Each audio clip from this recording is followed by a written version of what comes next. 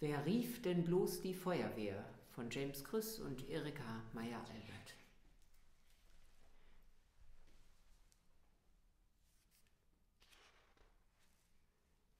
Die Feuerwehr, die Feuerwehr, sie kommt mit großem Lärm daher. Es heulen die Sirenen. Die Kinder fragen, was ist los? Die Neugier in der Stadt ist groß. Man fragt, wer rief nach denen? Der Wagen von der Feuerwehr fährt links und rechts und hin und her mit 75 Sachen. Da kommen fast aus jedem Haus die Leute heraus, die Leute heraus, die große Augen machen. Doch mittendrin im Stadtverkehr hält plötzlich an die Feuerwehr vorm Haus Professor Kunkels. Aus Tür und Fenster wälzt sich Rauch. Siehst du den Rauch? Ich seh ihn auch. So flüstert's und so munkelt's.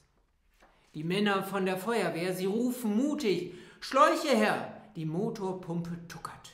Ein Mann, der einen Schlauch erwischt, hält ihn aufs Haus, das Wasser zischt, es blubbert, platscht und gluckert.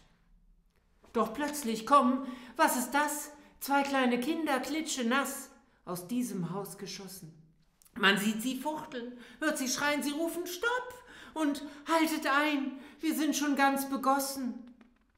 Der Hauptmann von der Feuerwehr ruft Wasser halt und spritzt nicht mehr. Die Schläuche werden schlaffer. Dann setzt die Motorpumpe aus und seht, schon drängen vor dem Haus neugierig sich die Gaffer. In diesem spannenden Moment erscheint ein langer Herr und rennt zum Wagen mit den Schläuchen. Professor Kunkelt ist's. Der Mann schaut wortlos die Bescherung an. Vor Zorn hört man ihn keuchen. Herr Hauptmann, ruft er schließlich aus, wer gab Befehl, mein schönes Haus so grässlich zu durchnässen? Der, Hauptmann, der Hauptmann spricht, man rief uns an, hier sei ein Riesenbrand, und dann sind wir halt aufgesessen. O lieber Hauptmann, Qualm und Rauch, Sie sind in meinem Hause Brauch, ich bin Chemieprofessor. In diesem Hause zischt und speit und dampft und qualmt es alle Zeit. Was soll mir dies Gewässer?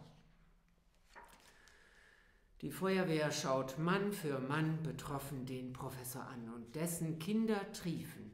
Wie Vogelscheuchen sehen Klaus und seine Schwester Selma aus, die ganz erbärmlich schniefen. Was aber ist im Haus erst los? Betrachtet die Tapeten bloß, wie sie klatschnass sich wellen. Der Lehnstuhl tropft, als wär's ein Schwamm, der Boden ist bedeckt mit Schlamm. Im Schrank entspringen Quellen. Es fragt der Herr Professor, wer rief bloß hierher die Feuerwehr?